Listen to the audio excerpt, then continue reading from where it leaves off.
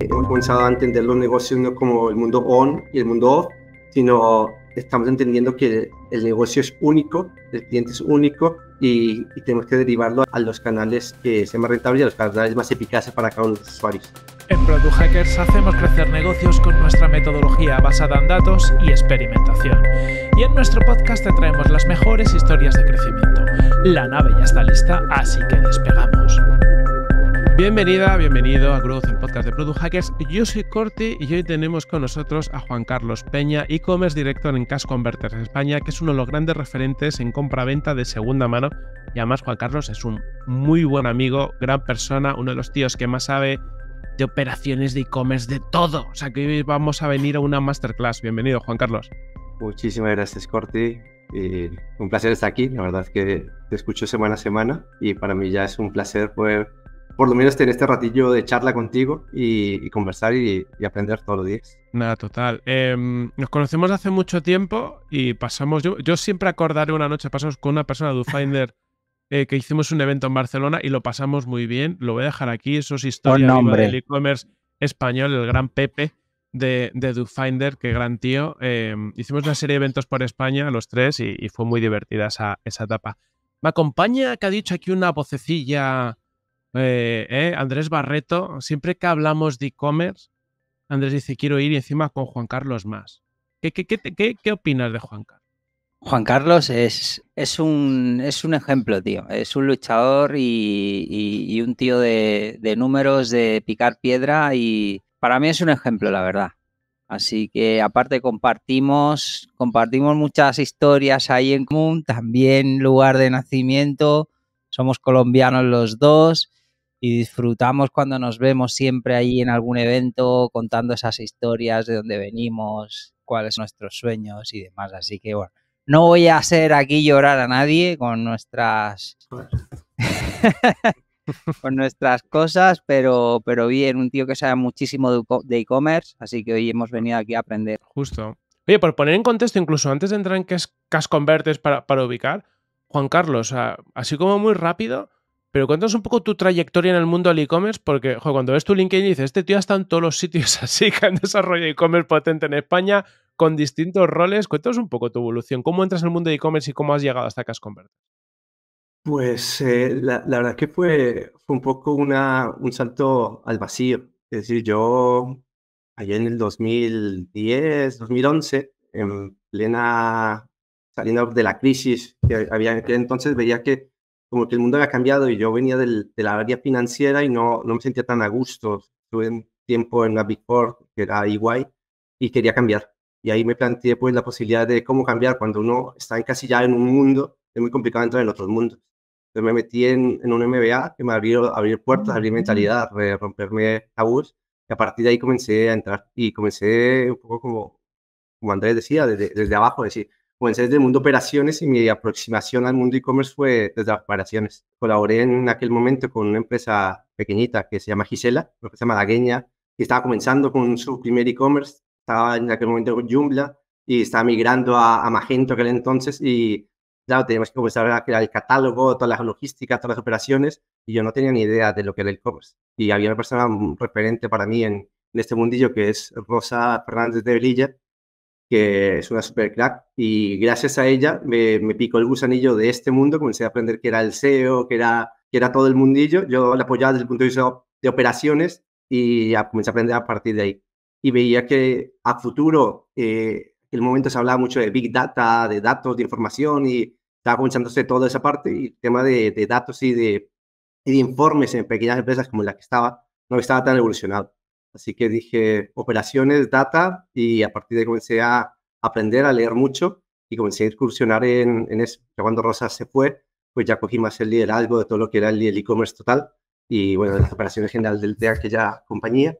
Y a partir de ahí comencé a evolucionar. Y después ya ahí, desde el punto de vista de operaciones, ya conociendo toda la visión 360 de, de lo que es el e-commerce, que al final parte de un buen catálogo y parte de, de un buen surtido, ya comencé a entrar pues en lo que fue el corte inglés.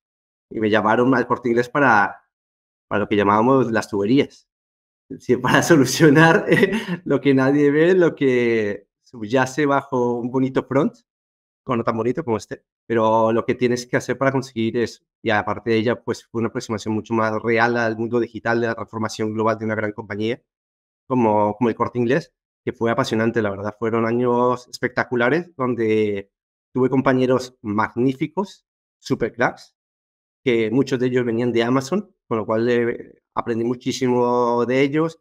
Hicimos una, una muy buena piña y hicimos muchas cosas chulas en poco tiempo y siempre ligado al dato. Allí comenzamos con el modelo de democratizar el dato desde el punto de vista analítico y no solamente desde un punto de vista bonito de dashboard, sino desde el punto de vista de que los BI y Google Analytics son herramientas que debemos utilizar para, preguntarles cosas, para validar hipótesis, no, no para ver un seguimiento. Los seguimientos lo vemos, pero y a partir de ahí fue que comencé a aprender. Y después ya la vida me llevó a un, a un equipo comercial de, de Oracle eh, a liderar toda la parte de desarrollo de negocio en la parte de e-commerce. Era un especialista, eh, yo era especialista, no tenía ni idea de la parte comercial, siempre había sido un ratón de, de laboratorio, como quien dice, y me la pasaba metido en mi, en mi mundo y ya a partir de ahí pues me metí en, en todo el mundo comercial.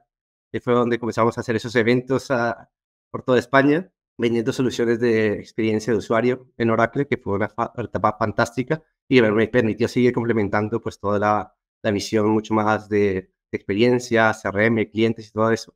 Y todo eso me ha, me ha traído aquí, a Crash Converters, liderar todo el, toda la mm. parte digital y de e-commerce. Nada, total, como, como es que nos está escuchando, al final Juan Carlos es de las personas que tiene una experiencia más completa desde las tuberías, ¿no? desde las entrañas, desde la operación, también la parte tecnológica, marketing. Al final tiene una visión brutal. Y, hace un tiempo ya llegas a Cash Converters. Cuéntanos un poquito, eh, ya no solo parte digital, Cash Converters, muchos sabremos, yo he pasado por varias tiendas, vuestras y por la web, me refiero, seguramente es una marca más o menos reconocida, pero cuéntanos un poquito sobre la empresa. Bueno, yo creo que es una empresa internacional, es una, yo no lo sabía hasta que llegué aquí, eh, nació en Australia y es una empresa que cotiza en, bolsa, en la bolsa australiana y, está pues presente en países europeos, eh, África, Estados Unidos y demás. Y aquí en España, nosotros tenemos como la master franquicia de, España y Portugal. Pero al final es un modelo de franquiciado diferente. Al final hacemos un poco una gestión totalmente independiente y libre. Y eso nos ha permitido construir pues, un ecosistema digital totalmente, un, un ecosistema independiente. Y, y, es lo que hoy por hoy le damos de valor a, la compañía. Y, y por hoy Australia está hablando con nosotros para para adquirir ese know-how digital que hemos creado aquí, no solamente desde el punto de vista digital, sino de, transformación global de compañía con, con, la tecnología. Y básicamente, pues Cash Converter, eh, estamos especializados en la compra-venta de productos de, segunda mano. Y básicamente nuestro principal propósito es cambiar los hábitos de consumo de la sociedad para conseguir pues, eh, mejores eh, formas de, de, vida en lo ambiental, social y económico. Y intentamos buscar esos, en esos tres pilares, pues, cómo mejorar mediante esos productos de segunda mano, cómo ayudar a la sociedad a través de, de soluciones financieras que podamos eh, prestarla a personas que realmente tengan momentos puntuales de necesidad.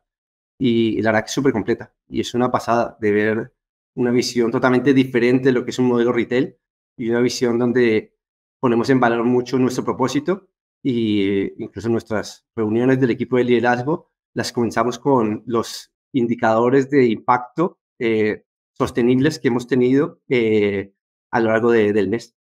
Y, y incentivado mucho eso, que realmente es por lo que muchos hemos venido a esta compañía.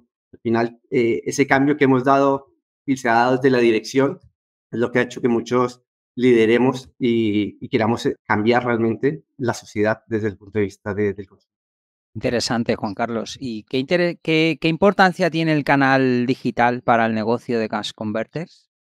Pues creo que ha ido cogiendo cada vez, cada vez más peso. Al final, cuando, cuando yo me incorporé a la compañía, eh, venía como un punto de vista de e-commerce, a liderar pues, toda la parte de e-commerce y poco a poco, con el paso de los, de los meses, hemos ido abarcando una, una visión diferente. Al final, eh, la inversión que tenemos nosotros eh, en captación de nuevos clientes es limitada y esa captación, pues al final lo que vamos haciendo es conseguir coger los canales digitales y utilizar esos canales digitales para la captación de, tráfico hacia las tiendas físicas. No solamente desde el punto de vista transaccional del e-commerce, sino desde el punto de vista de, la compra. Al final, el, mundo cash converters basa su, su modelo de negocio principalmente en comprar, en comprar productos, comprar productos de, de buena calidad que permitaba darle una segunda vida a, a un siguiente usuario. Con lo cual, eh, ese modelo digital eh, buscamos a través de plataforma digital, pues una, un proceso eh, lo más sencillo posible para poder comprar productos, para poder tasarlos y que los usuarios después, eh, si están interesados en lo que les proponemos, puedan a, acudir a tiendas o solicitar la recogida a domicilio de esos productos. Con lo cual, hemos montado un ecosistema digital para que tengamos un modelo mucho más global del cliente y de los servicios que ofrecemos en, en Cash Converters. Y cada vez el mundo digital tiene más peso porque cada vez estamos siendo capaces de, de mediante el dato, que al final es una cosa súper importante, mediante el dato mostrar el valor que llevamos a las tiendas. Eh, somos capaces de identificar, pues en función de la inversión que tenemos, cuántas visitas llegan a tienda, mediante, somos capaces de identificar cuántas de las citas por cada uno de los canales que se piden digital llegan a, tienda física, cuántos convierten. Es decir, tenemos ratios de conversión no solamente desde el punto de vista on-on, sino on-off.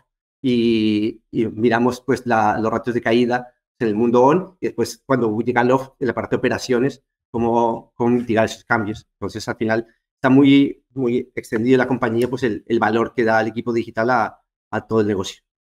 Claro, Cash Converter es un negocio que hasta la parte digital era muy local, ¿no? Al final, tú te encontrabas una, una tienda Cash Converters, ¿no? Y, y, y, al final vendías ahí, si conseguías vender los productos que tenía y las encajaban, y también comprabas ahí. Entiendo que esto ha transformado totalmente la forma en la que, que se acerca el negocio, en el sentido que ahora sí que puedes puedo comprar Cash Converters en la web, puedo vender en la web, eh, esté en Madrid, esté en Castellón o esté donde sea. ¿Cómo ha sido ese cambio en la compañía? Eh, yo creo que el, el, cambio comenzó en cierta manera cuando en 2016 o así nos unimos con, con eBay. eBay estaba buscando un ledger de, de, confianza en España con mucha experiencia en el mundo de segunda mano y nos planteaba pues un reto, la posibilidad de, incorporar pues esa plataforma de, compra de productos. Y con nuestro expertise y con el know-how que teníamos de tienda, pues lo, planteamos ahí. Y eso nos ha permitido pues ir creciendo paulatinamente y, ofreciéndole al, a los usuarios ese, ese servicio. Y es un servicio que tiene mucha tecnología detrás, porque al final eh, darle un precio a un cliente de compra de un producto no es, tienes que calcular todo el proceso hacia atrás. Tienes que calcular cuánto, cuánto es tu margen, cuánto en teoría es tu diferencia versus los precios del mercado, tienes que calcular cuánto es la diferencia versus productos nuevos versus productos de segunda mano. Tienes un algoritmo bastante complejo que, que te permite establecer por qué tipo de productos comprar o qué tipo de productos no comprar, porque también tenemos en cuenta el surtido de cada una de las tiendas, con lo cual para el cliente es mucho más sencillo valorar el producto, eh, pierde menos tiempo que haciendo una cola y después de esperar media hora en la cola, ver que no le pagan lo que en teoría esperaba que le pagaran, nos permite competir con las plataformas peer-to-peer, donde en teoría eh, compran y venden productos los usuarios y nosotros, además de comprar el producto, pues le damos esa garantía a los usuarios que, que otras plataformas no tienen. Al final nosotros pagamos por, por transferencia, en efectivo, Visum y, y, y, en el acto. Y validamos los productos a la hora de comprarlos y de, y de venderlos. Con lo cual damos una garantía de dos años, casi igual que los productos nuevos. Damos tiempo de desistimiento para estos tipos de productos que son garantías que, que el modelo peer-to-peer -peer no existe y que realmente los clientes valoran muchísimo.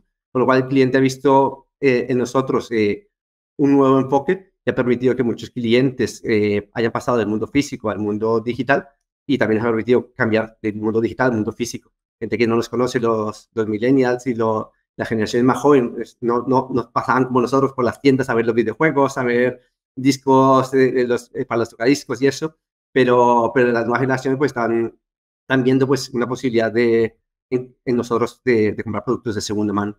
Por lo cual, la verdad que vemos que por las encuestas que manejamos con los clientes, NPS y demás, claramente vemos que el, cliente nos, nos responde y, y, generamos ese engagement con nosotros y, y, ahora cada vez más cuando hemos planteado pues este cambio de, de comunicación, de hacer lo que hacíamos toda la vida, pero lo hacemos de como boca pequeñita, de hacemos productos de segunda mano. Y ahora yo creo que desde la pandemia todo ha cambiado y ya lo decimos con mucho orgullo de que compramos y vendemos productos de segunda mano porque creemos que es lo mejor para, para la sociedad y para el medio ambiente. Oye, hablando de productos, me viene a la cabeza una, una gran duda y es sobre cómo escaláis el, el producto, ¿no? Las categorías. ¿Cómo, cómo priorizas qué, qué categorías al final son más importantes, ¿no? Pues a, nivel de categoría realmente tenemos un, unas analíticas bastante completas desde el punto de vista de la navegación del usuario, es decir, o sea, hay como unos productos ganadores, ¿no? Los productos que más quiere la gente. Sí, sí, sí claro. Hay, hay, hay, productos que...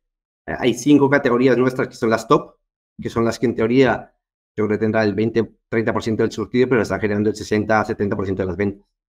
Y esas categorías top pues, son las que tienes que, que mimar mucho y son las que le prestas más atención y son sobre las que experimentas más porque en teoría son las que tienes que intentar conseguir mayor, mayor rendimiento. De igual manera, esas categorías top son las que tienen más, más competencia, porque todo el mundo ve en ellas un atractivo interesante y, y es donde más competimos unos con otros.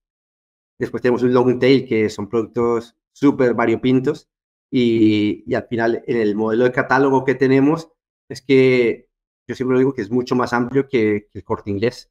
El corte inglés tiene categorías por, por temporadas, es decir, llega una temporada el iPhone 14 y el año que viene ya lo tiene el iPhone 11 o el iPhone 13. Nosotros tenemos desde el iPhone 8 hasta el iPhone 15, tenemos de todo tipo de, guitarras, tenemos todo tipo de, cámaras fotográficas y, y, claro, entonces ser capaces de mostrar esa amplitud de categorías y, y focalizarlas más top y llegar a ser long tail, pues es complicado a nivel de, captación de tráfico, de captación de clientes y sobre todo presentación de, la web para que el tiempo de, latencia de las diferentes categorías no sea muy alto y, no empeore la conversión.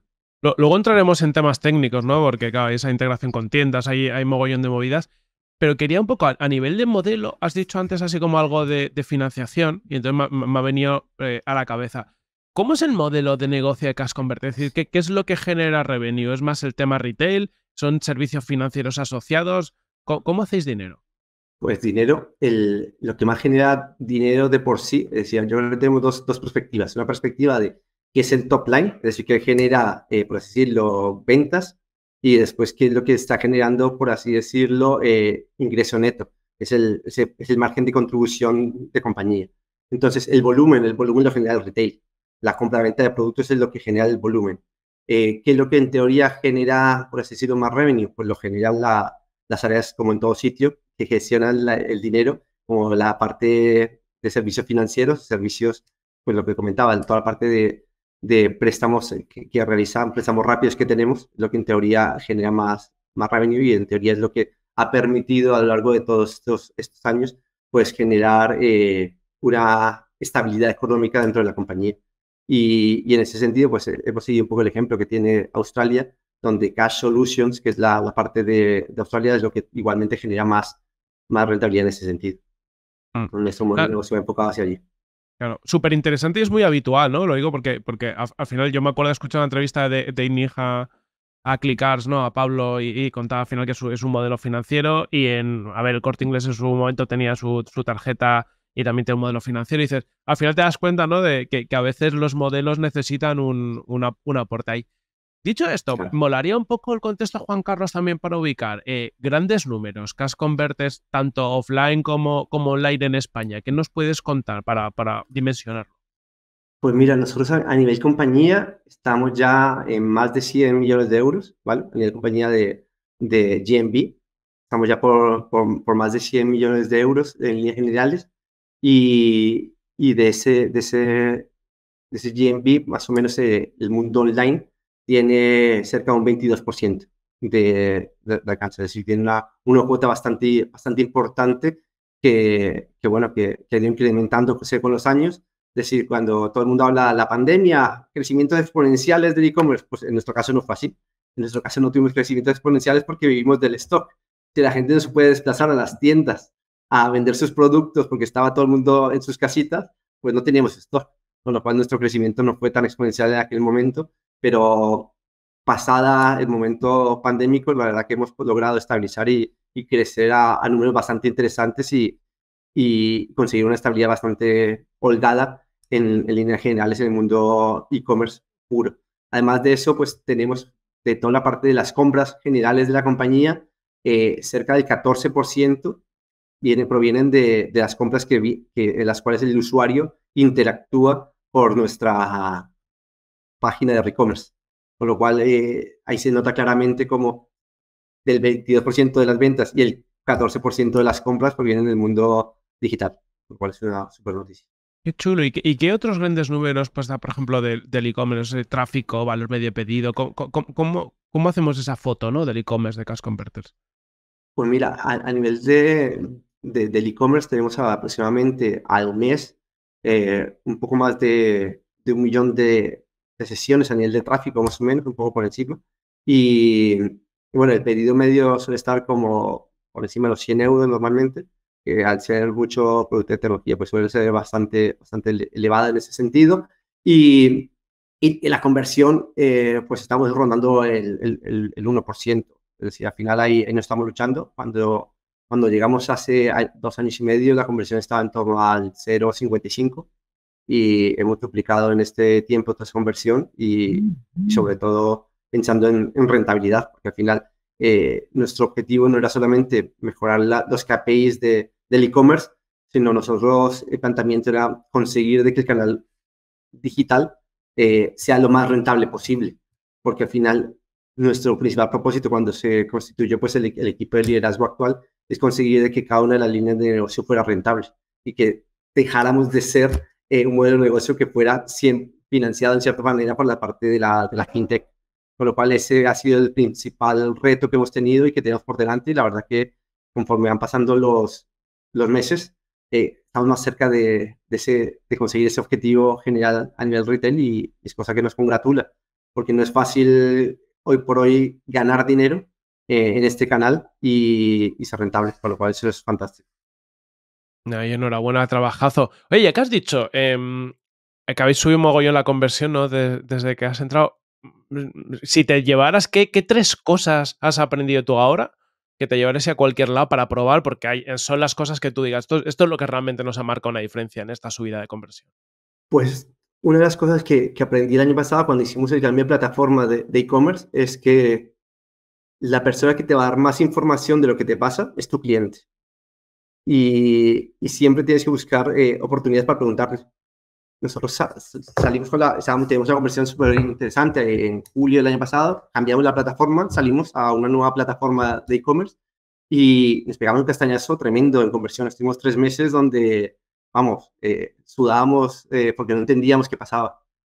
Y en ese momento decidimos preguntarle a, en los momentos que identificábamos clave, que no sabíamos qué pasaba, veíamos que pasaba algo, pero no lo identificamos, comenzamos a preguntarle al cliente qué, qué nos pasaba y el cliente en una semana tuvimos cerca de 900 usuarios que interactuaron con nosotros, que nos dieron feedback y que nos decían, quiero comprar y tengo fallo aquí, quiero comprar y pasa esto. Y, y ese feedback fue tan, tan valioso que nos pusimos a la, enseguida con el equipo de desarrollo y logramos solventar pues en menos de tres semanas ese bache que teníamos. Con lo cual para mí el, la principal cosa que me llevo a cualquier sitio es preguntar a tu cliente que si lo tienes y, realmente lo tienes fidelizado, es el principal interesado en, que funcione porque quiere comprar. Con lo cual, ese para mí es, el número, la primera cosa que me llevaría. La segunda cosa que me llevaría es las hipótesis, hay que validarlas. Y también en este contexto hay mil hipótesis que, que parecen buenas, que parecen lógicas, pero cada e-commerce es totalmente diferente. Cada usuario es, es totalmente diferente. Con lo cual, eh, tienes que intentar validar hipótesis previas a, a ponerlas en desarrollo, porque te, te, te, supone un doble coste y a lo mejor incluso te está generando perjuicio a nivel de conversión. Con lo cual aquí es súper importante esa parte de, de, validación, de experimentación, de, hipótesis, que no todos conocemos todo y el usuario siempre, siempre tiene la, la razón y, y, hay que entender. Así que, bueno, muy bien. Oye, Juan Carlos, y cuando dices preguntar al cliente, ¿cómo aterrizamos esto? O sea, si nos está oyendo un director de e-commerce, y que pueda, oye, vale, sí, ¿cómo le pregunto a mi cliente? ¿Qué, qué hiciste? Es decir, lo que nosotros hicimos fue, teníamos un problema sobre todo en, en, los pasos de checkout, ¿vale? Sobre todo en el paso de shipping y, veíamos que teníamos una caída, pero no lográbamos trasladarle al equipo técnico qué le pasaba. Decíamos, oye, a un cliente se está cayendo aquí y el desarrollador decía, vale, pero ¿qué, qué le pasa? ¿Con qué tarjeta utilizado? Eh, ¿Qué navegador? ¿Qué, qué, qué dispositivo? Claro, comienza a hacer tantas preguntas que mm, es imposible conseguir la escalabilidad de todos. Con lo cual, y pusimos una herramienta de feedback en ese paso que nos quedábamos y ahí es donde pedíamos al usuario que nos diera feedback. Ese usuario que dejaba el feedback con la herramienta que utilizamos en ese momento. En el momento que dejaba el feedback, la herramienta grababa toda la sesión. Con lo cual, no solamente teníamos el feedback del cliente donde nos decía qué le pasaba, sino que teníamos la grabación y como un registro de lo que le había pasado al cliente. Con lo cual, con ese registro y con un modelo Kanban que montamos, construimos eh, posibles posibilidades de errores. Y los que tenían más, más errores, o por así decirlo, más esa tabulación que hicimos de los errores, eh, los construimos y en base a eso construimos qué, cuáles eran los principales perjuicios que teníamos. Y con esas grabaciones llegamos exactamente a los problemas que teníamos. Con lo cual, pedimos feedback, ese feedback lo tabulamos por tipologías de, errores, y esas tipologías de errores se las pasamos al equipo de desarrollo para que el equipo de desarrollo pusiera eh, los fixes correspondientes. qué bueno, esto es lo típico. Eh, sí, sí, porque es lo típico, todo el mundo dice hay que escuchar al cliente, pero, pero, pero luego te das cuenta que no lo hacen. Vosotros lo habéis, lo habéis hecho, ¿no? Y, y, mola, mola verlo. Juan Carlos, eh, quería pasar ya una, una cosa que es, al final vosotros hacéis re-commerce, ¿no? Entonces, comparado con cualquier otro e-commerce, hay cosas similares, porque tenéis una plataforma e-commerce, es decir, pues la gente hace DACAS Converters y, y, parece, desde fuera parece que todo es lo mismo. Pero por detrás todo es distinto. ¿Qué es distinto un sitio de e-commerce como vosotros, no? Al final, que entiendo que hay una integración de stock de tiendas, hay un proceso de, compra y de venta, no solo de, de, venta. Es decir, ¿nos puedes dar unas pistas de qué es distinto un modelo Cash Converters versus un modelo de e-commerce normal donde yo tengo ya el producto? Aquí creo que, como todo, también parte de, del aprovisionamiento. En modelo retail o e-commerce al uso, tú tienes un modelo en el cual eh, tú, tienes unos proveedores que te, que te dan una serie de productos en base al surtido tipo que tú plantees para tu tienda online y, en base al, tiempo de permanencia que tú tienes ese producto, ¿vale? Con lo cual tú tienes un producto, normalmente puede tener variantes o sin variantes, pero tienes muchas unidades de ese producto por detrás para, para vender. En nuestro caso, eh, cada producto es único. ¿Eso qué quiere decir? Que por mucho que yo tenga eh, una tablet Galaxy o un iPad, ese iPad es totalmente diferente a otro iPad que haya comprado. Porque primero, tienen diferentes estados de uso. Segundo, a pesar de que tengan el mismo estado de uso en base a la catalogación que nosotros le damos, puede tener alguna otra imperfección o alguna cosa positiva.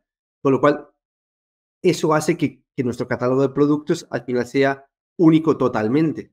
Con lo cual, eso hace que al final nuestra arquitectura de, la información eh, impida pues montar modelos de recomendadores clásicos al uso de, eh, porque has visto ese, te gusta este, entonces hemos tenido que construir una arquitectura eh, donde creamos un, un modelo agregador de otros submodelos pero, pero ninguna plataforma lo provee eso, o ha sido una personalización 100% nuestra y ha hecho que pues, las categorías se extiendan muchísimo y muchas veces el cliente al uso no lo entiende, porque lo que está viendo son fotos reales de cada uno de los productos que han sido fotografiadas por cada una de las tiendas, han sido descritas en cada una de las tiendas, con lo cual es súper interesante conseguir que, súper importante, pasar de un modelo centralizado de surtido y de catalogación a un modelo descentralizado de surtido, donde no tienes un proveedor, sino tienes miles de proveedores que son cada uno de los usuarios que deciden darle una segunda vida al producto.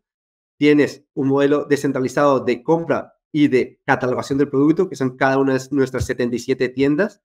Tienes un modelo descentralizado donde tú no tienes un fotógrafo profesional que haga fotografías a, a todo el producto, sino tienes personal de nuestras, personal de nuestras tiendas, compañeros y compañeras de nuestras tiendas que fotografíen los productos en base a una aplicación que nos queda a nosotros ad hoc para que sea mucho más fácil el proceso de, carga y de subida a, la web.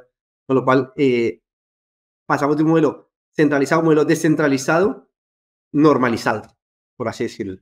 Entonces, eh, eso hace que, que, haya mil casuísticas y que el cliente, a la hora que compra un iPhone, eh, no solo esté interesado por ese iPhone, con esa memoria, con ese color, sino pregunta muchas más cosas. Con lo cual, el principal motivo de interacción que tienen los usuarios con nosotros es más información del producto. Que a pesar de que hacemos fichas extensas, descripciones extensas y demás, siempre el usuario que, que esté interesado en comprar quiere más. Claro. Tiene toda la lógica. Por ejemplo, el, una de las cosas que ha pasado por encima, el tema de las fotos, claro, no, no es lo mismo. Ya en un e-commerce es un, es un pifostio. Al final montar, o, tienes que decir, monto mi estudio, tiro de proveedores externos, hay una serie de, de historias que cada una mm, tiene su problemática. Em, yo me acuerdo en su día que hablamos con la gente de Micolet, que están por el, por el podcast, nos contaron que ellos, centralizaban las compras en un modelo de compra-venta que estaba centralizado y ya tenían que optimizar las fotografías, porque claro, tienes lo que ha dicho Juan Carlos, ¿no? Cada producto eh, aunque sea el mismo, eh, hay que hacerle foto porque el estado es distinto y demás, y eso te genera unos costes operativos que tienes que optimizar. Como en vuestro caso, la foto lo hace alguien que no tiene ni idea de hacer fotos. O sea, me refiero, se hace, la habéis enseñado vosotros, ¿no? Pero se hace en una tienda que la personal de la tienda es otra cosa. Es decir, tenéis mucho tema de, también, ¿no? De lo que has dicho, normalización, formar y demás, que en otro modelo no habría. Claro, sí, ahí, ahí utilizamos mucho, internamente tenemos una la Smiling Academy, que la Smiling Academy lo que hace es formar a, los equipos de tiendas. Y tenemos una formación online para explicarle a las tiendas cómo se tienen que hacer los procesos estandarizados. Por lo cual, siempre que entra una nueva persona, se le forma cómo tiene que ser todo el proceso del gestor web, que es una parte del proceso que al final eh, está por una parte el, que compra, otra parte es el gestor del almacén y por otra parte está el gestor web. Con lo cual, esas tres personas tienen que estar sincronizadas totalmente para que el producto llegue de la mejor forma posible y, se pueda visualizar las, bondades de nuestros productos eh, en las imágenes. Y más aún sabiendo de que eh, la zona donde los usuarios hoy por hoy más interactúan con nuestros productos es la foto.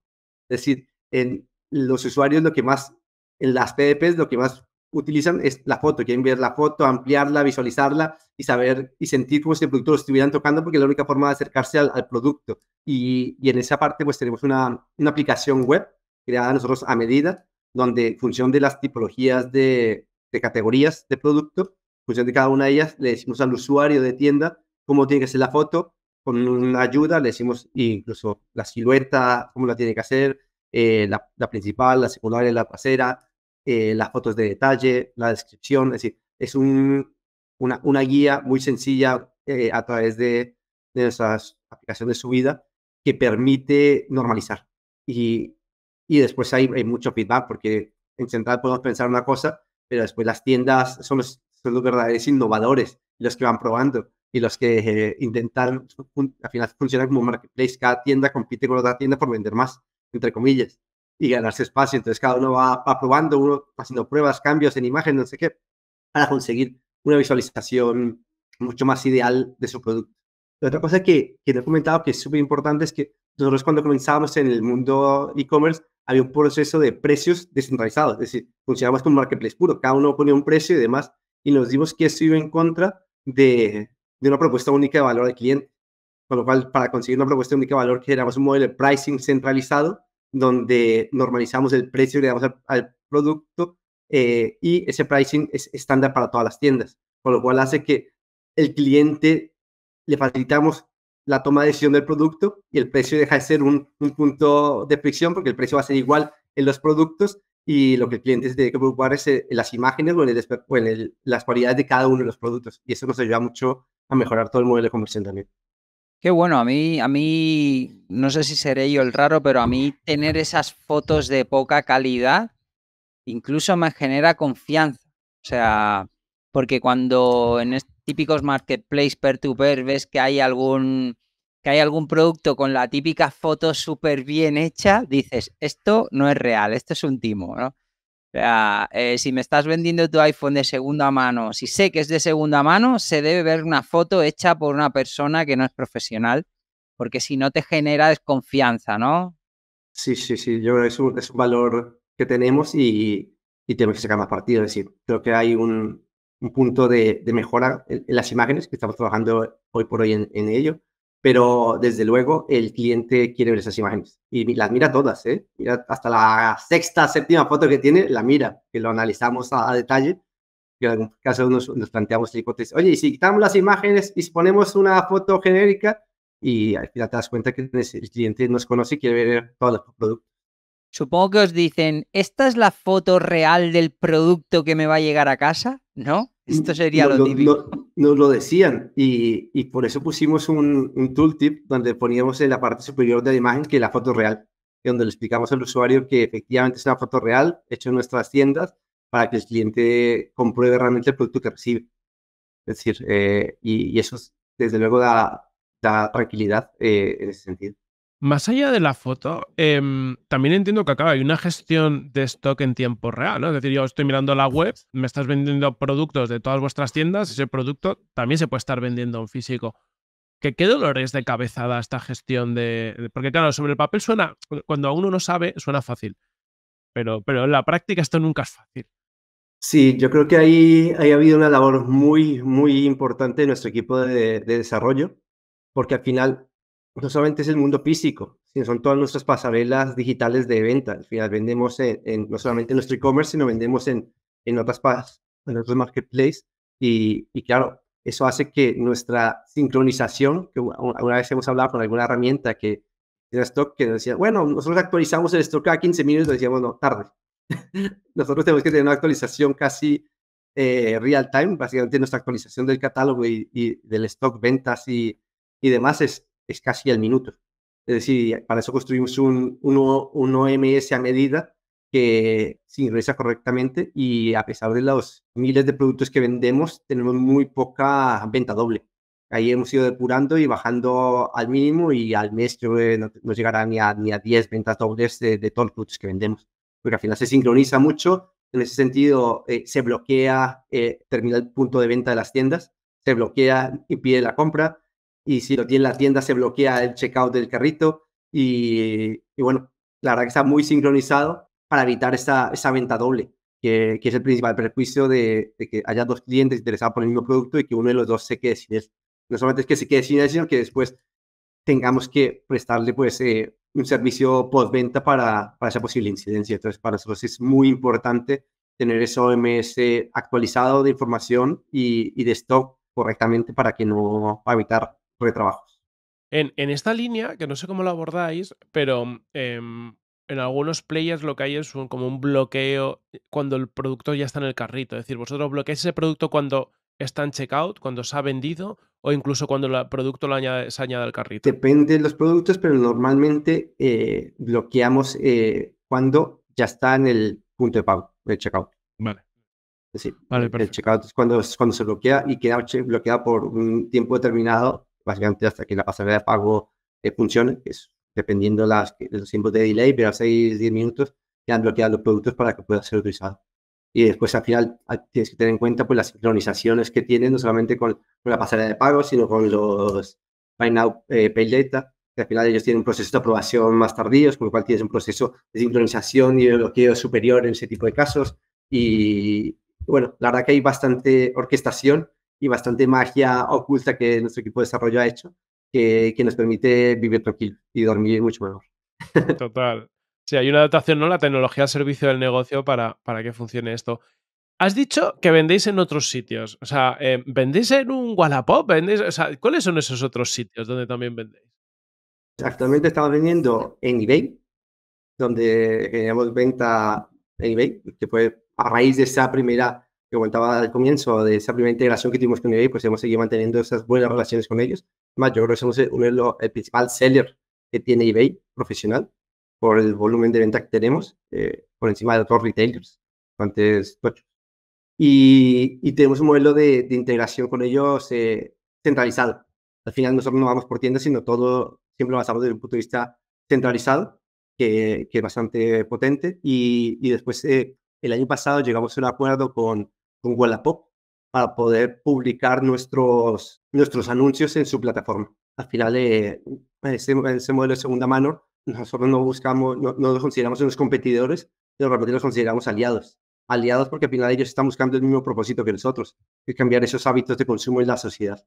Con lo cual, eh, estamos en conversaciones conjuntas con ellos, eh, creamos una asociación que es ASEMA, que es la Asociación de, de, de la Segunda Mano en España, y que actualmente presidimos nosotros. Y en ese sentido, velamos por, por liderar eso, con lo cual, eh, por ese motivo, eh, nos juntamos a ellos. Fuimos el primer retailer en España que subió el catálogo a, a Wallapop. Les, le ayudamos a desarrollar a Wallapop ese modelo de, de segundo mano. Si nos pidieron recomendaciones, nosotros le dijimos cómo lo hacíamos, cómo lo, lo planteamos y, y ellos desarrollaron parte del, del, proceso actual con, junto con nosotros. Y ahí publicamos todos el catálogo de nuestras tiendas pero como nuestro objetivo y como decía al comienzo, es utilizar los canales digitales para generar más venta y más tráfico a, a nuestras tiendas, no vendemos ni a domicilio en Wallapop. sino el envío a domicilio lo hacemos a través de nuestra tienda online y el resto de, compras, que es el modelo Wallapop, es que el usuario se dirige al, lugar donde está el producto. Así que le pedimos a los usuarios que vayan a, nuestras tiendas a comprar los productos y, y, si no les gusta el que han visto online, pues puedan comprar otro eh, en, la, en tienda física donde están nuestros magníficos compañeros, les asesoran y les dan garantía al 100% de, de cada uno de los productos que es, chulo, ¿no? por ejemplo, en otros sectores como PropTech en España es muy curioso porque todo el mundo eh, vende sus.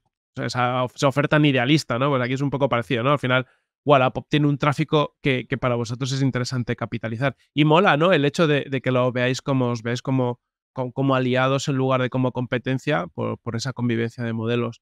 Eh, entiendo que para hacer algo así, claro, ha habido una integración, porque claro, Wallapop es un, un modelo que está pensado para que un usuario de forma manual, ¿no? O sea, como uno profesional suba, suba al catálogo y, vosotros necesitáis esa tecnología, ¿no? Entiendo que ha habido un proceso tecnológico interesante ahí. Sí, sí, sí, la verdad es que muy interesante porque al final eh, la actualización del catálogo, porque es producto único y, demás, pues eh, tenía que ser bastante ágil el, la flujo de información entre, entre las dos plataformas y la verdad que fue un reto muy bonito y la verdad que cada vez que que está generando pues buena, buena atracción y, y, no, solo, no solo todo el, proceso tecnológico, sino la garantía que le podemos ofrecer a los usuarios de Wallapop con nuestras tiendas. Al final nosotros le damos a todos los usuarios de Wallapop lo mismo, dos años de garantía, 14 días de devolución y eso en Wallapop no suele existir. Al final siempre existe el que se ha escuchado en algunos, pod, en algunos sitios de, fraudes y eso que están ocurriendo en, en, estas plataformas por, por gente que no, no debería estar ahí. Y, bueno, esa garantía en, cierta manera nosotros la mitigamos con, con la validación de, que nuestros productos son certificados y además de eso que, que todos nuestros productos pasan control policial. Es decir, una vez que compramos nuestros productos, los tenemos, eh, dependiendo del tipo de producto, entre 7 y 21 días eh, esperando a que la policía nos diga que ese producto es correcto, que nadie ha reclamado por él, que tiene validez perfecta y que podemos vender ese producto, con lo cual eh, no solamente garantizamos que el producto esté en perfectas condiciones, sino que la policía nos ha el visto bueno para, para poder venderlo eh, en el mercado de segundo mano, por lo cual eso nos da una garantía de cara al, siguiente usuario que desea dar una segunda vida de producto.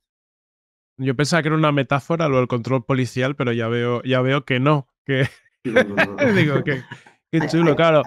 Hay un libro de registro en cada tienda y la, y la policía lo tiene. Algunas están sincronizadas, conectadas, donde se pasa a digital, otras que están físicas. Pero sí, sí, es súper importante esto. Y porque al final está, está en tela de juicio nuestra marca. Y tenemos que garantizar de que no, no quede en tela de juicio nuestra marca y que realmente proyectemos en lo que nuestros valores para que, esa, para que efectivamente ningún usuario tenga problemas con esos productos. Claro. En esta línea, ¿qué otras cosas, eh, temas de regulación, legales o incluso fiscales, no son tan, o sea, los habéis tenido que tener en cuenta y no son tan obvios? Porque claro, entiendo que segunda mano, por ejemplo, pongo uno sobre la mesa. Eh, en teoría, eh, hay un tema de, que la gente que vende por plataformas, ya sea igual a Pop en su día se decía, entiendo que con vosotros igual tiene que tributar como ese dinero. se os pide un registro, ¿qué, otras obligaciones incurre una plataforma de e-commerce? Hay, una, un régimen especial. Es decir, nosotros en teoría por los eh, bienes de segunda mano no pagamos el IVA, porque como quien dice, no tenemos ese IVA, no repercutimos el IVA, tenemos un modelo de, se llama el régimen especial de bienes usados, que es un modelo fiscal por el cual tributamos por cada una de nuestras ventas eh, de, que hacemos en la web y en la tienda física, es decir, tributamos por todos y cada uno de los productos que, que vendemos, eh, además de, de ese régimen especial de bienes usados, está otro modelo que es la parte de algunas categorías de productos donde también se paga el, el ITP, el impuesto de transmisiones patrimoniales, que hoy por hoy también le quieren poner para, para otras, para las plataformas peer-to-peer, pero nosotros lo pagamos en, en, todos los casos. Y es decir, tributamos por cada una de las compras, por cada una de las ventas que, que realizamos eh, en ese sentido y, y ahí pues ciertos matices en línea general y por eso tenemos que tener muy claro pues los controles fiscales que, que se apliquen en, cada uno de los procesos de compraventa de nuestros productos. Qué chulo. ¿Y qué, productos son? Me voy a entrar, está un poco tal, pero productos curiosos que vendáis y qué productos son más complejos a nivel fiscal o tengan, tienen más regulación. La joyería tiene mucha regulación, es decir, la, todo lo que es el, oro tiene mucha regulación eh, en ese sentido.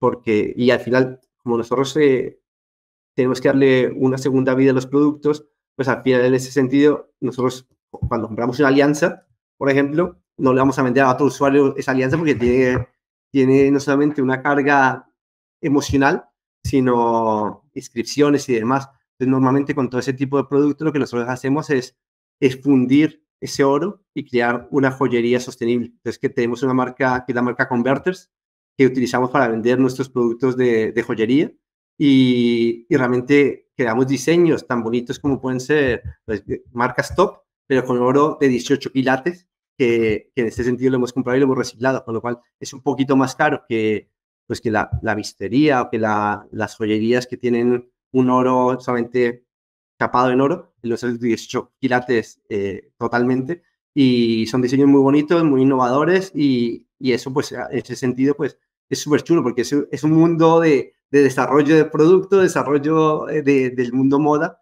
en todo lo que es la joyería, y la verdad que tiene un potencial muy, muy grande, y es una de las categorías que, por ejemplo, este año, a nivel de conversión, ha crecido un, no sé, un 80% de conversión y, y, de ventas está creciendo un 60% con lo cual eh, es una categoría que le estamos prestando mucho cariño, y, pero tiene sus particularidades. Al final, una vez que tú haces ese proceso con, con tercero, pues al final tiene particulares fiscales y demás.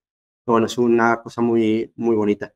Y, y preguntabas por productos variopintos, ¿no? De sí, cosas, cosas curiosas. Yo es que tengo mucho, seguro que se venden cosas muy raras. Pues cosas raras. Que se puedan contar, ¿eh? bueno, yo, yo, creo que el, el, otro día comentábamos que en su momento se vendió un ataúd. ¿eh? Compramos un ataúd y, y era súper curioso porque decías, lo compramos y a ver cuánto tiempo esto queda en nuestra tienda. Y lo vamos a exponer ahí y a ver cuánto tiempo. Y, y tardó muy poquito en venderse. Fue súper curioso. E, en dos días ese producto ya estaba vendido. Flipante. Eh, y, en, y Oye, si te, pones, si te pones a pensarlo, no es mal negocio, ¿eh? porque es muy caro ¿eh? enterrar a, enterrar sí, a alguien. Pero, pero, realmente, cuando preguntamos a la persona que la compraba, dijimos, bueno, porque lo utilizaba para lo que pensamos todos, pero no, no, el tío se lo quería hacer para ponerse una estantería en su casa, que no sé cómo tendría que cobrar el resto de la casa, pero, pero quería una estantería y lo quería utilizar el ataúd porque era buena madera y demás y que le iba muy bien yo me quedé cuando lo contaron, me quedé súper sorprendido de esto, del, del tema del ataúd. Y después hay, eh, hay verdaderas antigüedades que, que hemos comprado y vendido. Es decir, hemos tenido pianos del siglo, de inicios del siglo XX o una cámara fotográfica del siglo XIX. Cuando la compramos funcionaba, era una verdadera reliquia. Estos dos productos, por ejemplo, los, los compró un, un coleccionista para, para tenerlos en, no sé si en su galería o donde fuera, pero, pero fue, fue sorprendente. Y, y así de las cosas que, fue, que dio más notoriedad en prensa fue también un, un premio Goya, que fue un premio Goya de, de, creo que fue la mejor guion de una película o algo así. Pensaba y, que ibas a decir la Copa del Rey de Sergio Ramos que se cayó del autobús. no, no, eso no nos ha llegado, ojalá nos llegara hacer una fotillo con ella. Pero, pero no, pues, pues oye, fue curioso. Y hay más cosas, creo que se cumplió una estatuilla de, de Salvador Dalí en su momento también, que al final es como todo, la persona que lo vende, si no sabe el valor que tiene un producto, eh, pues no sabe lo que tiene. Muchas veces llegan ahí, lo vemos, es que esto creemos que es verídico, o relojes que no le dan valor, esto es verídico. Normalmente le, en nuestra propuesta de valor le, le damos una tasación real, si no nos, no nos aprovechamos del desconocimiento de los usuarios, sino, oye, en algún caso le hemos dicho, oye, vamos a llamar a una persona que sea más experta en arte para que conozca y nos valore mejor el, el precio del producto porque no te vamos a pagar si no sabemos exactamente cuánto puede estar costando esto. Y ese es nuestro, nuestro trabajo de, de comprar productos súper variopintos y, y, venderlos. Después hay, como todo, eh, Rolex, que, que nada más en la web hemos vendido este año 25, que no está nada mal. Es decir, que eso, eso sube mi ticket medio, así que guay. y, y, ya está, yo me, así como... Juan Carlos está siempre ahí, ahí esperando y dice, a ver cuándo viene otro Rolex, que, que, que ya, me, ya, para los KPIs me viene bien. Tenemos una cámara allí Ponemos una cámara y hacemos el empeños a lo bestia, ¿no? Aquí en, una, en una tienda de cash converters, ¿no? No, no, empeños, no, nosotros no empeñamos. Así que... No, no, pero ver ese proceso de compra tiene que ser... Ah, sí, es, es, es, interesante, ¿eh? No, la empeños a lo bestia no era, sí, es vender. ¿Es el programa este de Netflix en el que van y venden? ¿Lo habéis visto o no? No sé cuál Justo que están todas estas anécdotas, no sé si ahora sí se llaman empeños a lo bestia o no sé cuál es. Pero bueno. yo, vi una, de estas series americanas donde compraban grandes lotes, que era tal, y luego de repente se ponían a rebuscar lo que había ahí, había cosas súper guapas. Ah, sí. Sí, sí, sí. La de los. Eh, compraban que era eh, lockers. Eh. Lockers, sí. Justo. Sí, sí. Lockers que abandonaba la gente y los. Y hacían una subasta, una subasta. Sí. Tal cual, sí, es que hay, reliquias. Viendo un poco todo lo que nos estás contando, que es súper complejo al final, eh, toda esta descentralización organizada y demás, eh, ¿cuáles son los principales desafíos tecnológicos que, enfrenta Cash Converters en su plataforma de e-commerce? Yo creo que eh, nuestra principal iniciativa en línea general es saber utilizar la tecnología para algo en concreto. Muchas veces incluso en el propio caso Converte hemos visto que, que plantea la tecnología por tener tecnología y no tecnología con un propósito específico de, de negocio.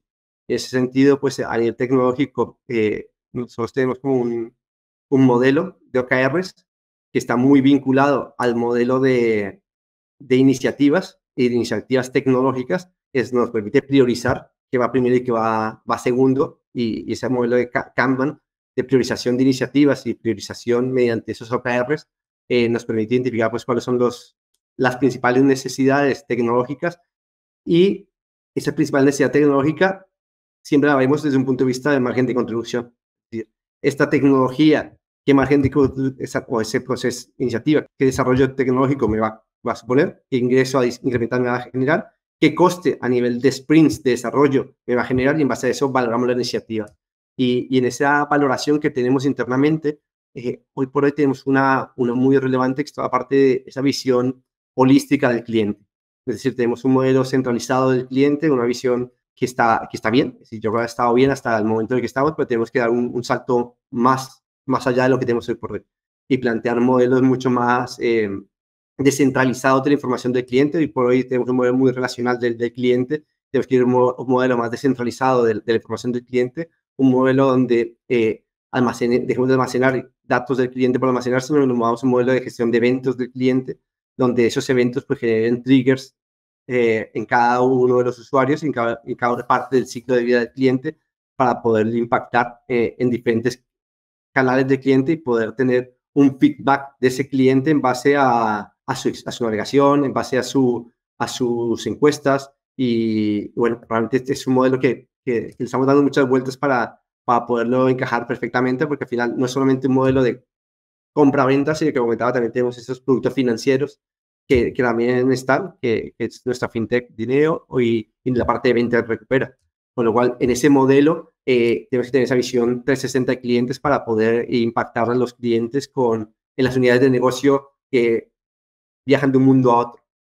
Y, y ahí yo creo que está nuestro principal reto para, para sobre todo conseguir pues esa, optimización de los costes de captación de, los clientes que cada vez están más caros y que, tenemos que poner en valor pues esa, ese first party data que tenemos a día, a día de hoy. Viendo el negocio tan, eso, productos variopintos, tan complejos, ¿cómo es tu día a día? ¿Cómo, cómo gestionas tu día a día? ¿En qué métricas te centras? ¿Cómo es el día el día a día de Juan Carlos como director e-commerce de, un negocio tan complejo a nivel de operativa? Mi día a día básicamente está enfocado un poco también a lo que comentaba de, las iniciativas y de los OKRs. Al final eh, establecemos esos OKRs a nivel compañía y esos OKRs a nivel compañía pues son los que, los que nos mueven y los que nos terminan eh, generando pues, los principales indicadores que tenemos de gestión, los KPIs que tenemos en el día a día. Y, normalmente las iniciativas le, intentamos prestar pues el 50% de nuestro tiempo, tanto desde la parte de desarrollo como de nosotros a nivel de negocio.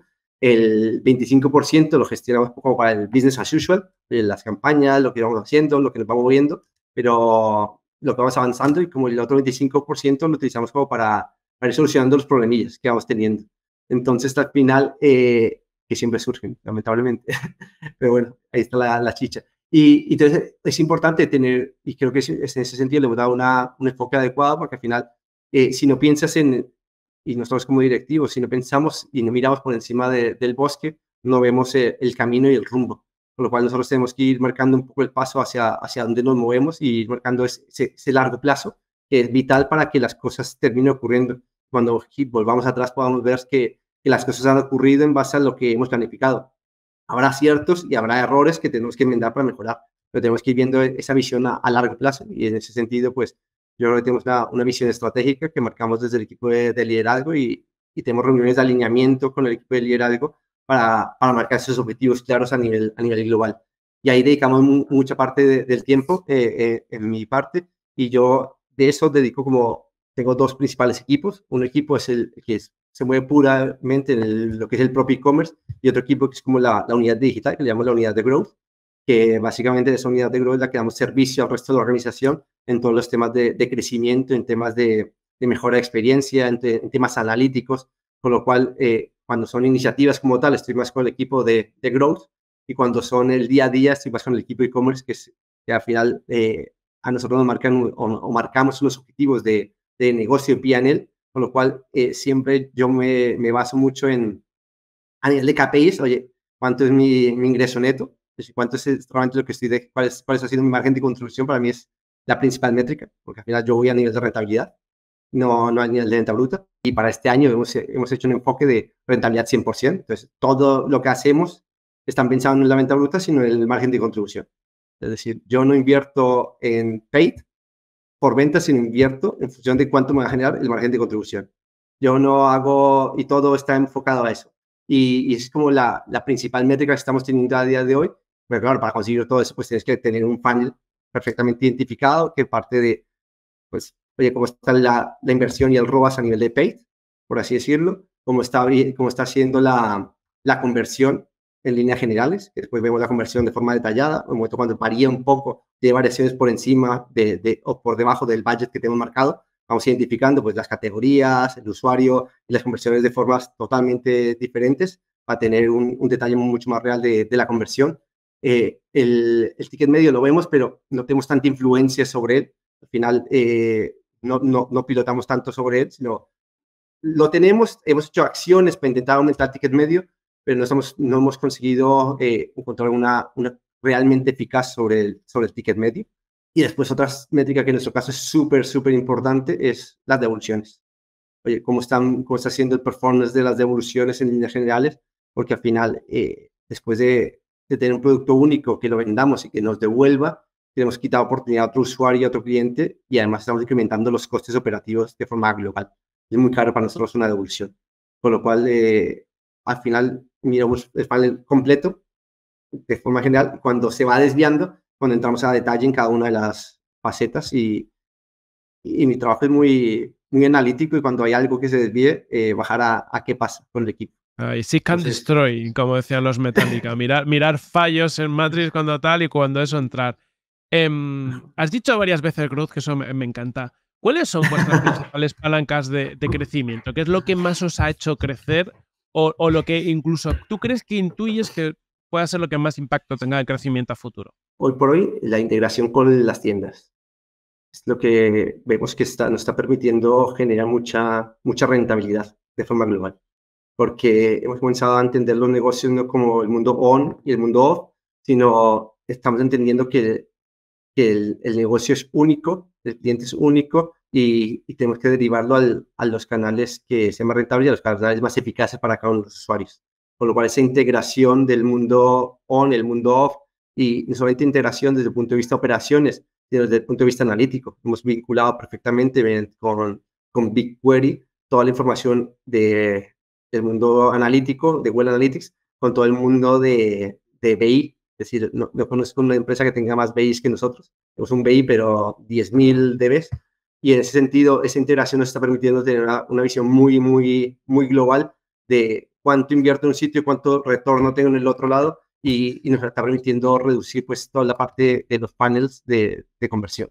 Yo creo que eso, esa parte nos está generando bastante crecimiento en líneas generales otra, otra cosa que nos está generando crecimiento y ahorros es toda la parte de experimentación. Porque ahí en la parte de experimentación nos está permitiendo eh, probar cosillas y, y variedad de hipótesis. Eh, siempre pongo, hay cosas que, que cuando hicimos la primera migración de, la web, creíamos que era un sí, sí, sí, sí, pero después es un no, no, no, no. Entonces, eh, esa parte de experimentación nos está permitiendo ahorrar y, y, y crear. Pero es verdad que es, es, complicado. Esto de la experimentación es, es un mundo porque porque cuesta. Es decir, al final tienes que hacer muchos experimentos para conseguir los, los, los que realmente te van a generar rendimiento. Este año yo no sé si habremos hecho cerca de 100 hipótesis, hemos marcado 100 hipótesis que hemos analizado y al final hemos terminado implementando, creo que llevamos, no sé si 8 o 9 implementadas en producción. Es decir, que, que al final es otro panel, un panel de experimentación donde tienes hipótesis, tienes que contrastar las hipótesis y después tienes que que bajando al A-B test o a la prueba con los usuarios o a las encuestas correspondientes y, y, que todo eso después te termine dando algo que en teoría te dé un rendimiento incremental. Porque hacer un desarrollo para quedarte en lo mismo, eh, muchas veces te lo planteas de no lo hagas. Que ahorra tiempo y ahorra recursos e invierte donde realmente va a ser más eh, eficaz. Con lo cual ahí, ahí tenemos eh, que seguir luchando y, y, no solamente desde el punto de vista del mundo digital, sino que esto es parte de, de la cultura de la organización y, y, la cultura de la organización cada vez es, es más permeable. Esa es una ventaja que tenemos en Cash Converters, que nos permite, eh, cuando encontramos algo que realmente nos permite crecer, pues poco a poco tenemos vía libre para construir sobre eso. Y este equipo de growth, que es reciente, lo llevamos con él pues un año y un mes, lo comenzamos con él en septiembre del pasado, pues a mi organización nos está dando mucho retorno desde el punto de vista analítico, eh, transversalidad, globalidad, crecimiento y soporte transversal a, toda, a todo el equipo de la organización. Y bueno, proyectos muy chulos que hemos hecho en este, en este año y, y más que quedan por llegar. Sí, qué bueno, qué bueno que seáis una empresa que valora tanto la experimentación. Ahí nos alineamos totalmente. Sí, sí. Oye, ¿cómo impacta la IA, la inteligencia artificial, eh, en un negocio tanto de, de tanta optimización como, como, es el vuestro? Pues aquí nosotros estamos, eh, bueno, yo estamos probando igual que cualquier otro e-commerce en este sentido, eh, el ChatGPT, el DALI, cosas de este tipo para pues, las descripciones, la parte de, de, de SEO y demás, pero, pero, le estamos dando vueltas a, a, cosas mucho más potentes. Es decir, por hoy eh, no puedo desvelar todavía, pero, pero hay, hay, hay trabajo de, de, IA por detrás bastante potente que, que no solamente se quede como la parte superficial, sino que vaya más en las tripas de nuestro negocio y que nos permita tener pues crecimientos exponenciales en, en el propio modelo de, de, gestión, de análisis, de previsión a nivel de global. Y bueno, ahí yo creo que tenemos eh, mucho, mucho recorrido. Estamos analizando, estamos intentando validar algunas, algunas herramientas, algunas posibilidades de, de mejora en, nuestra, en nuestras líneas de negocio. Y bueno, yo creo que hay, hay puntos interesantes. Como todo, como todos los hypes. Al final dices eh, en cuál me subo, en cuál no, y qué te va a aportar, qué no te va a aportar. Y aquí lo importante es intentar encontrar de cada hype qué te puede aportar valor eh, y en qué parte de tu modelo de negocio te puede aportar valor. Porque muchas veces, eh, y conozco empresas que se suben a todos los hypes, al final no terminan construyendo muchas cosas, sino tienen varias cosas con diferentes hypes que han llegado. Aquí, sobre todo, nosotros estamos intentando eh, encontrar el, el valor al, al, modelo de negocio que tenemos actual para optimizar de forma general el, el, negocio. Como tú dices, al final nuestro trabajo es optimizar y utilizar la tecnología en ese proceso de optimización.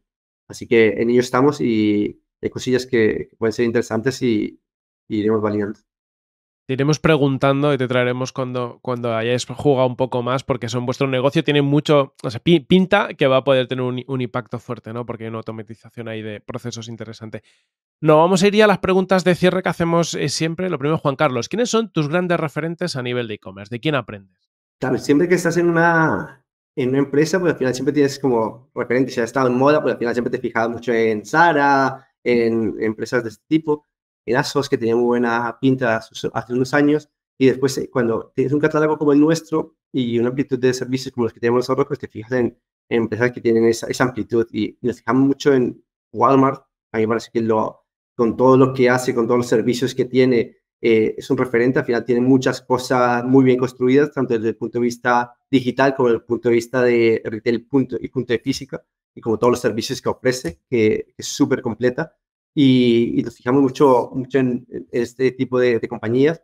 Y después hay, hay empresas que, españolas que son más pequeñitas que han puesto como en el centro su, su propuesta de valor. Eh, un Minimalist, un, un Freshly Cosmetic, que para nosotros la verdad que, oye, lo ves y han construido algo muy bonito, porque no solamente es, eh, construyen todo desde esa propuesta de valor global y, es un poco lo que nos tenemos reflejado nosotros. Queremos construir todo desde ese punto de vista de propuesta de valor y no desde el punto de vista meramente transaccional. Y creo que hoy por hoy los usuarios ven ese, ese valor y se identifican con él. Al final tienen que operar en ese sentido y, y creo que esas dos lo están haciendo lo están haciendo bastante bien en lo que es el mundo, de e-commerce. Mm, buenos ejemplos y mola esa de la construcción desde la propuesta de valor.